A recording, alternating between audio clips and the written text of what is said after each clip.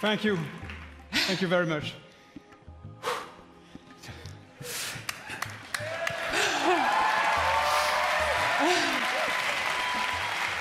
Thank you. First of all, I want to say a big thank you to all the teams who worked very, very, very hard on creating all, all this, all this world. Uh, again, thank you to all these, these teams behind us. I want also to say thank you to Yves with all my heart.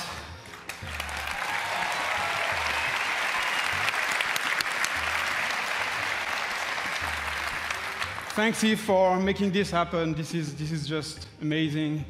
Uh, and also, a special thanks to the fans of Beyond Good and Evil for sticking with us for so long.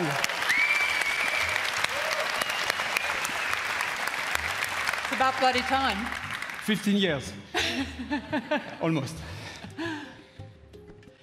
So, welcome to System 3. Our story takes place before the birth of Jade in a multi ethnic, multicultural human society in a distant solar system.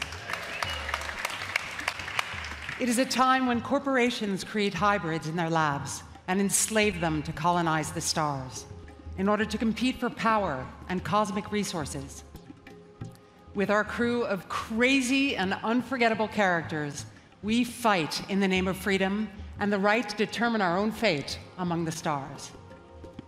And we will helm massive star-faring vessels through territories as spectacular as they are dangerous.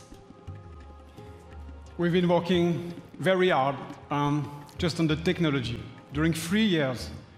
And today, we have a seamless online playground where we can travel across space at the speed of light. We can explore mysterious cities and discover unknown lands by ourselves or with friends. And we want you to participate in the making of this great adventure. Join our Space Monkey program.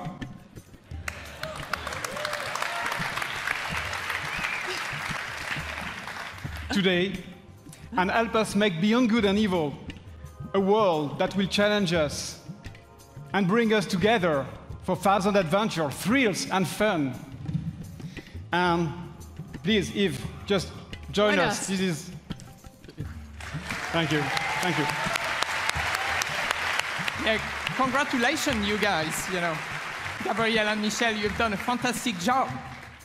It's amazing what uh, I've been, you have been able to achieve. And you and I, um, and all the teams, um, have the power of creating games that will amaze all the gamers.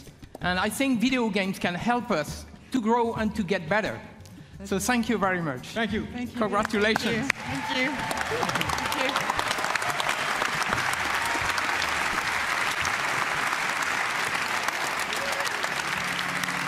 So now